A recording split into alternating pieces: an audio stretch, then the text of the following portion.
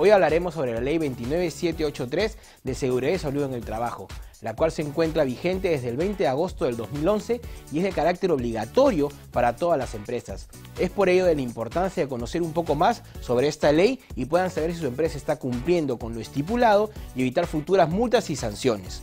La Ley de Seguridad y Salud en el Trabajo tiene como objetivo primordial promover una cultura de prevención de riesgos laborales en el país y para ello cuenta con el rol de fiscalización y control del Estado mediante la SUNAFIL, el deber de prevención de los empleadores, la participación de los trabajadores y sus organizaciones sindicales.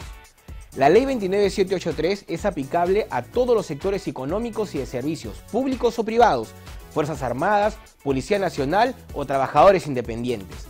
La Política Nacional de Seguridad y Salud en el Trabajo busca prevenir los accidentes de trabajo, las enfermedades profesionales y reducir los daños que se puedan ocasionar a la salud de los trabajadores que sean consecuencia directa del trabajo, que guarden relación con la actividad laboral o sobrevengan durante el trabajo que estos realizan. Es por ello que hemos generado una cultura en prevención de riesgos laborales, por lo cual el empleador debe, primero, implementar un sistema de gestión de la seguridad y salud en el trabajo, para con esto eliminar, controlar y minimizar riesgos y peligros de las actividades laborales, fomentando la cultura de la prevención en los colaboradores. Asumir el liderazgo y compromiso del sistema de gestión de seguridad y salud en el trabajo. El empleador puede delegar sus funciones y su autoridad a un tercero. Sin embargo, el empleador responderá ante cualquier problema presentado, ya que esto no lo exime de responsabilidad. Debe establecer desde el más alto nivel de dirección una política de seguridad y salud en el trabajo, para que se garantice su cumplimiento. Debe propiciar la participación de los colaboradores mediante una elección democrática para elegir a sus representantes, mediante la elección de un comité de seguridad y salud en el trabajo si son más de 20 colaboradores o un supervisor de seguridad y salud en el trabajo si son menos de 20 colaboradores. Por otro lado, debemos tener en cuenta lo siguiente. La ley indica que se deben realizar de manera obligatoria cuatro capacitaciones mínimas al año en temas de seguridad y salud en el trabajo. Estas capacitaciones deben ser realizadas dentro del horario laboral y a todos los trabajadores de la empresa. Se deben realizar exámenes médicos ocupacionales.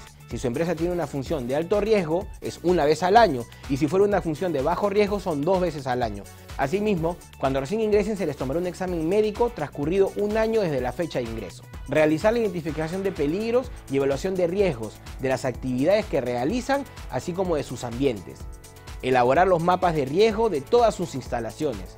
Elaborar el plan y programa anual de seguridad y salud en el trabajo.